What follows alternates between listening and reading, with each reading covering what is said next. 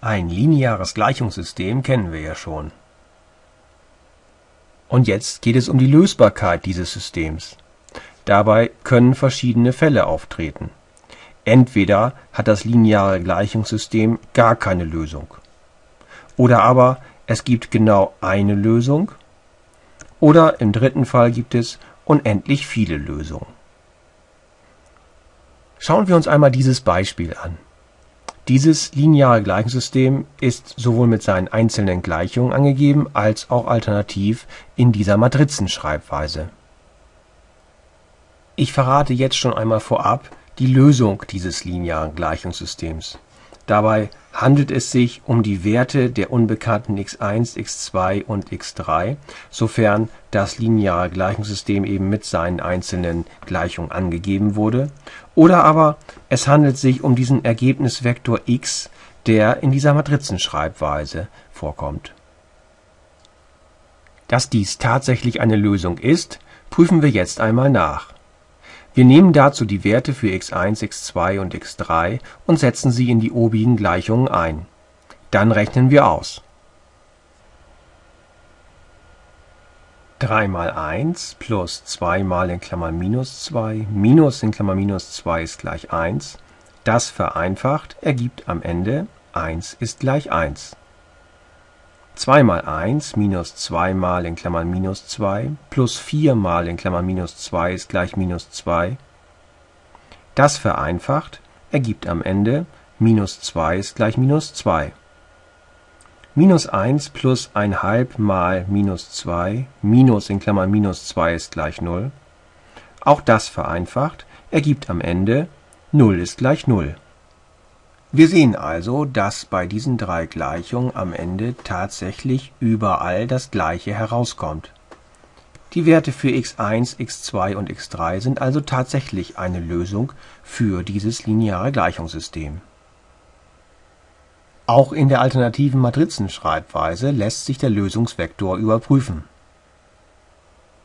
Wir setzen den Lösungsvektor zunächst für den x-Vektor ein und führen dann diese Multiplikation durch.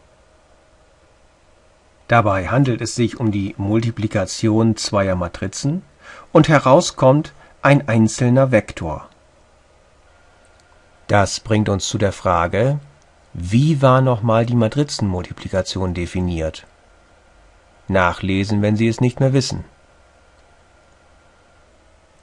Dieser Vektor besitzt wieder drei Komponenten dies ist die erste Komponente, die wir noch vereinfachen können. Hier haben wir die zweite Komponente und die dritte Komponente. Auch die können wir jeweils vereinfachen. Sobald wir das getan haben, wobei wir natürlich immer die Vorzeichen beachten müssen, können wir überprüfen, dass das Ergebnis, was wir hier heraus haben, identisch ist mit dem Ergebnis, was oben auch herauskommen soll also ist auch dieser Lösungsvektor tatsächlich eine Lösung für dieses lineare Gleichungssystem. Für das gerade gezeigte lineare Gleichungssystem war es übrigens die einzige Lösung. Es handelt sich damit also um diesen Fall 2, das lineare Gleichungssystem hat genau eine Lösung. Ein Beispiel für ein lineares Gleichungssystem mit keiner Lösung sehen Sie hier unten in diesem speziellen Fall haben wir zwei Gleichungen, aber mit x1 nur eine Unbekannte. Wir haben also ganz allgemein mehr Gleichungen als Unbekannte.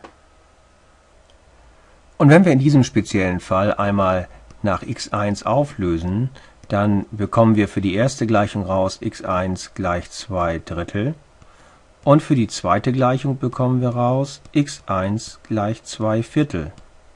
Und das ist ein Widerspruch, das kann nicht beides gleichzeitig erfüllt sein und darum gibt es keine Lösung. An dieser Stelle sei der Hinweis gegeben, dass an der Tatsache, dass es mehr Gleichungen als Unbekannte gibt, man nicht automatisch erkennen kann, dass es keine Lösung gibt. Diese Arten von Gleichungssystemen haben oftmals keine Lösung, aber nicht immer. Es gibt durchaus Beispiele für lineare Gleichungssysteme mit mehr Gleichungen als Unbekannte, die lösbar sind. Schauen wir uns dieses Beispiel an. x1 gleich 1 ist die erste Gleichung. und 2x1 gleich 2. Hier lässt sich die zweite Gleichung umstellen, so dass Sie auch hier herauskommen x1 gleich 1. Ich habe also durch 2 dividiert und man sieht, dass hier x1 gleich 1 die Lösung dieses linearen Gleichungssystems ist. Der dritte Fall, dass ein lineares Gleichungssystem unendlich viele Lösungen hat, kann hingegen nur dann vorkommen, wenn es weniger linear unabhängige Gleichungen als Unbekannte gibt. Auch dafür sehen wir hier ein ganz einfaches Beispiel. Dieses lineare Gleichungssystem besteht nur aus einer einzigen Gleichung aber mit x1 und x2 haben wir zwei Unbekannte. Hier gibt es unendlich viele Lösungen, und zwar sehen die Lösungen alle so aus, dass das x2 von dem x1 abhängig ist. Es muss nämlich gelten, x2 ist gleich 1 minus x1.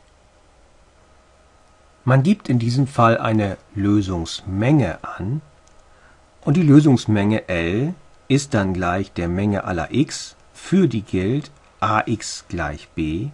Das heißt, es geht hier um die Vektoren x, für die das lineare Gleichungssystem ax gleich b erfüllt ist. Wir haben jetzt also jeweils ein Beispiel für die drei möglichen Fälle bezüglich der Lösbarkeit eines linearen Gleichungssystems gesehen. Wir haben hier aber noch nicht darüber gesprochen, wie man die Lösung eines Gleichungssystems bestimmt das geht beispielsweise mit Hilfe des Gauß-Verfahrens, aber das möchte ich in einem weiteren Video erläutern